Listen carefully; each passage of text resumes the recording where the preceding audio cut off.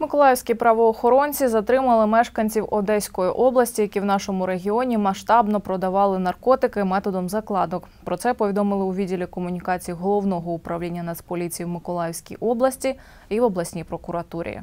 21 травня співробітники управління боротьби з наркозлочинністю в Миколаївській області та слідчі Первомайського районного відділу поліції за силової підтримки спецпризначенців та під процесуальним керівництвом місцевої прокуратури затримали групу осіб, які розповсюджували наркотичні засоби на території міста Первомайськ. Мешканців Одеси 20, 22 та 27 років затримали у Первомайську, коли ті саме розкладали закладки з психотропними речовинами. Відомо, що троє зловмисників, мешканці міста Одеси, щомісячно збували понад 3 тисячі доз, обслуговуючи більше 260 клієнтів у місті Первомайську та Южноукраїнську.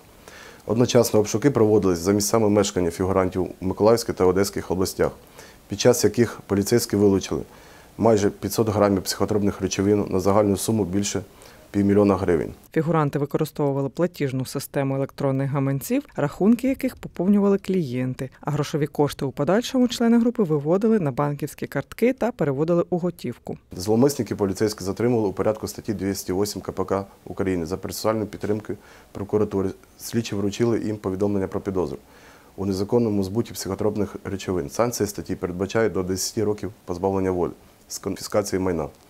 Суд обрав підозрюваним запобіжний заход у вигляді тримання під вартою з внесення застави. Сума застави на кожного фігуранта справи складає 681 тисячу гривень. Досудове розслідування триває. Олександр Супрун для МСН.